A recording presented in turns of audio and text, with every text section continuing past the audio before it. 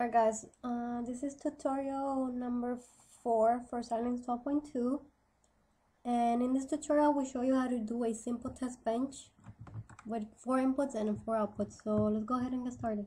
So the first thing you do is right click on your file and do add new source, actually add new source and then go ahead and select Verilog test fixture name your test bench.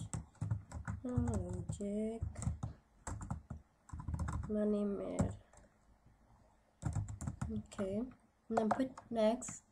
Make sure that your file is selected here. Press next. And next. And then you guys will get this this automatically created by Xilinx this here is your time scale for your physical test bench, which you'll see after you run your test bench. Uh, this is just the name of your test bench, uh, the name of your inputs and outputs. Bidirectionals, you guys don't have to worry about now because those are for inputs that are inputs and outputs in the same wire. This here is an extension of your file. And if we keep going down, you have an, an initialization of your inputs just to make sure that you start at zero. What I'm going to do is first write a comment for input for my next step. Inputs and outputs declaration. Okay so tab and then do initial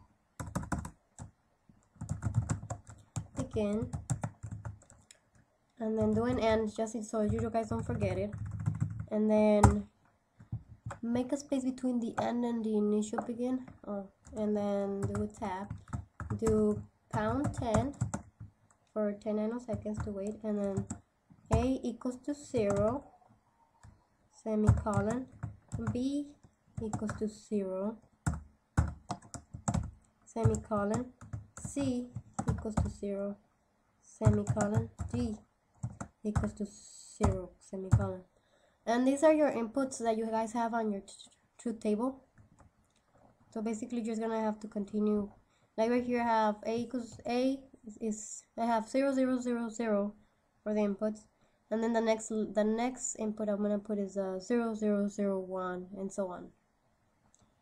So but first we have to do the display so I'm gonna put pound 10 display pound 10 and then money sign and then display.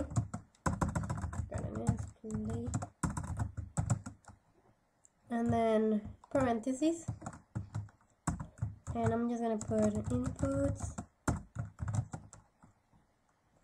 A equals to percent percent b comma and then b equals to percent b comma c equals to percent b comma d equals to percent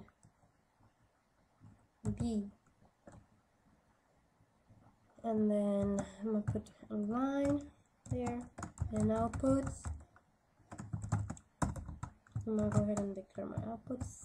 Um, I start with W equals to percent B, comma, and then X equals to percent B, comma, Y equals to percent B, comma, z equals 2% b. And then close your parentheses comma. And then just declare your inputs and outputs a b comma c comma d comma w comma x comma y comma z. And then close your parentheses and write a semicolon. So right now I have not um I'm gonna I keep going with this but what I'm gonna do is I'll space them out correctly so they have they look nice. But this um, percent B is for to see your inputs and outputs as binary. And you could change it to float or whatever Xilinx supports. And yeah so I'm gonna go ahead and continue. I'm gonna go ahead and pause this for now and continue with it so I don't waste time. Alright. Alright guys so your test bench should look something like this. This is the original stuff. Uh, it looks something like this your inputs. You should have your inputs your display and your inputs your display your inputs your display your inputs and your displays so that's how your test bench should look. Once you have it like this uh, go ahead and you can close it or just come back to this window. Make sure you're on simulation on your design window. Check for simulation. I mean check for syntax on your behavioral on your test bench make sure everything is good. If you get a green check you're ready to do the simulation behavior model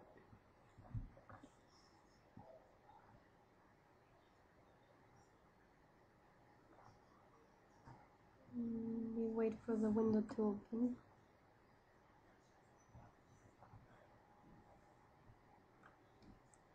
So you could check your your inputs up here or your inputs down here. It's up to you whatever you guys want to check it.